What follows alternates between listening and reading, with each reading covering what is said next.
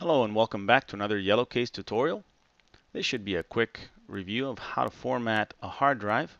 Now of course we're in Mac OS X here and there is a hard drive sitting on my desktop and you'll notice that it's an external hard drive. It's a FireWire drive and it has the default orange icon with a little FireWire um, uh, symbol on there.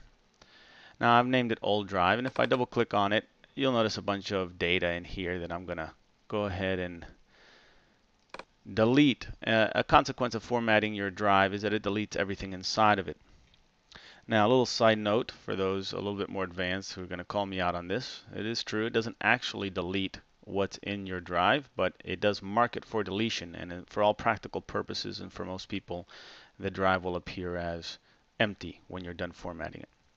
So what we're going to do in Mac OS X is open up your disk utility by going to the top of your screen and you should see Finder at the top left corner. If you don't, simply click on your desktop here, select Go, Utilities, and then look for the program called Disk Utility. If you don't see it, make sure you're viewing uh, your apps here in alphabetical order by clicking on the name and just go down to the D's and you'll see disk utility. Go ahead and double click on that. Now disk utility should open and on the left side of disk utility you'll have a white column with all your drives listed. Now this will be hard drives and optical drives along with any image disk that you may have created in the past or may have burned in the past. Now there's another video that I uh, made about how to burn disk images and you should see that on YouTube or on my website yellowcase.com. Now what we're going to do is we're going to select this old drive. You'll notice that every drive has sort of a, um, a, a another drive below it. And what this is, this is the actual drive. And this is the partition of that drive. This is the the um, the single partition in this case. You can have multiple partitions for a drive, and I'll get into that in a separate video as to why you might want to do that. But for this case, what we're going to do is we're going to select the drive, the main drive, and select Erase.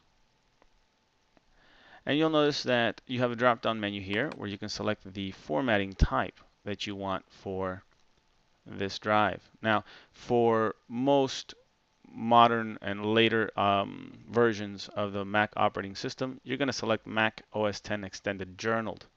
So if you don't know what you're doing, make sure that you pick this one here. This should be kind of like the um, the best choice for uh, for most users. If you want to be able to use this hard drive with both Mac and Windows operating systems at the same time, meaning you can swap that hard drive back and forth between different operating systems, go ahead and pick the MS-DOS FAT, F-A-T uh, format. Now I'm just going to use this with my Mac OS X, so I'm going to select Mac OS X Journaled, and I'll call this External HD for hard drive. And that's it. Click on Erase. It's going to ask you, are you sure? Erasing a disk deletes all data on all its partitions. So this drive is now erased and formatted for the Mac OS in the Mac OS extended journaled format. You'll notice on the bottom right hand side it tells you the progress of that formatting. There it's done. And now on my desktop the drive that used to be called old drive is now called external HD. And if I open it, there's nothing in it. I've just deleted everything inside of it. So there you go. That's how to format a hard drive in Mac OS 10 using Disk Utility. It comes free with your Mac. And make sure to check yellowcase.com for additional video tutorials or my channel on YouTube.